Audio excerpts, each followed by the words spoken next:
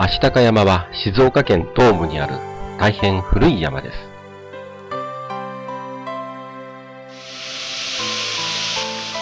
富士市にある大棚の滝です。落差21メートル誇るこの滝は、須戸川を作り、その水はやがて駿河湾に注ぎ込みます。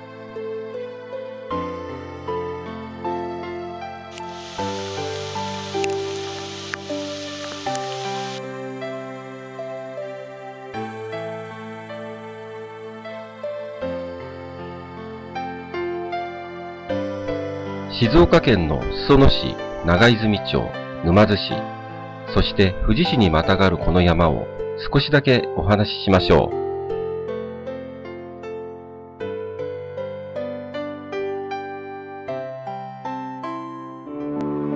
足高山は今から40万年前に大噴火を起こして誕生しました。その後噴火を繰り返し、おおよそ2500メートル以上の清掃火山となったのです。5万年前には火山活動が収まり、その後、風雨と侵食を繰り返しながら崩壊し、9つの竹を残す足高連峰が誕生したのです。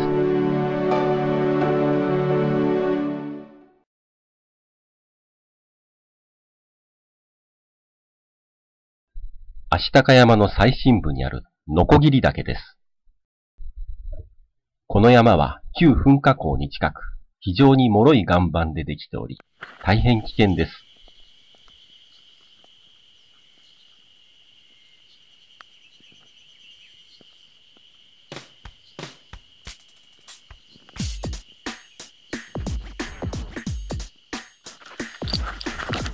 実際に歩いてみると、小石から岩盤まで非常に脆く、足元をすくわれることが多いです。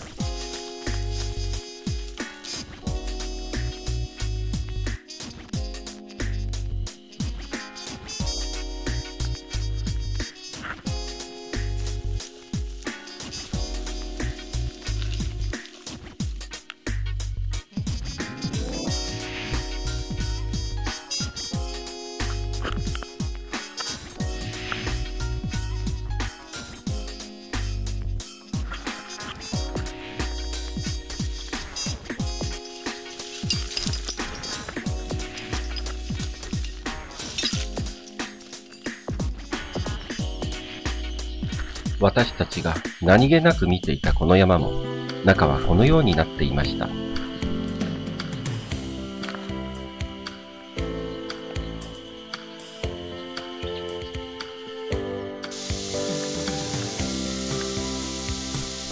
長泉町にある鶴瓶落としの滝です。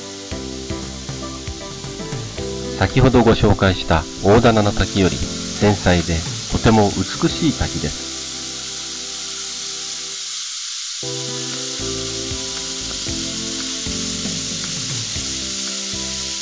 日頃は枯れていることが多く、足高山の幻の滝とも言われています。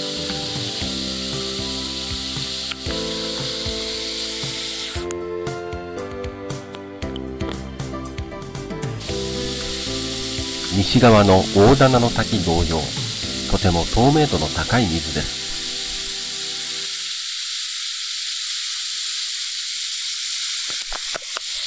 水の浄化作用が働き、山が生きている証拠なんです。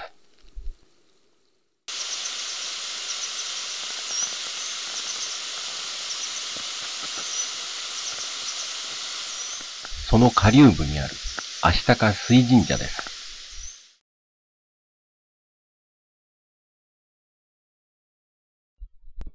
昔からこの山は人々の生活になくてはならない存在だったのです。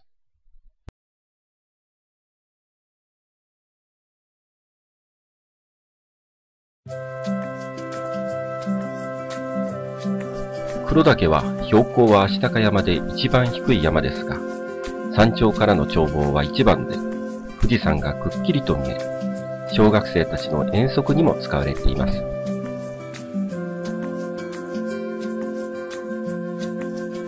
十里木高原から背後に富士山を見ながら登る越前岳登山は、足高山一番の人気のコースです。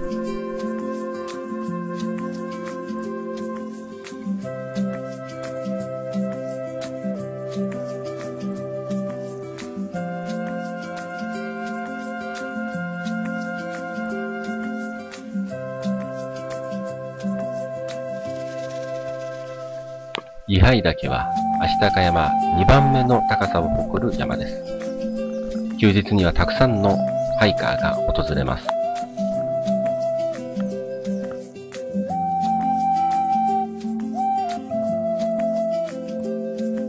位牌岳から足高山までの重走路は富士山、駿河湾、富士沼津の街並みを見下ろしながら穏やかに歩ける人気のコースです。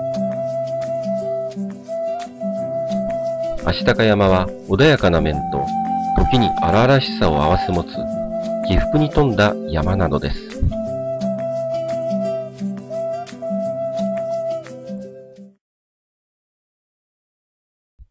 足高山は太古の昔から人々の生活に関わってきた里山です。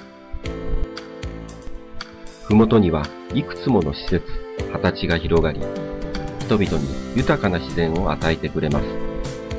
私たちはこの恩恵を将来につなげるために、より詳しくこの山を理解しておく必要があるでしょう。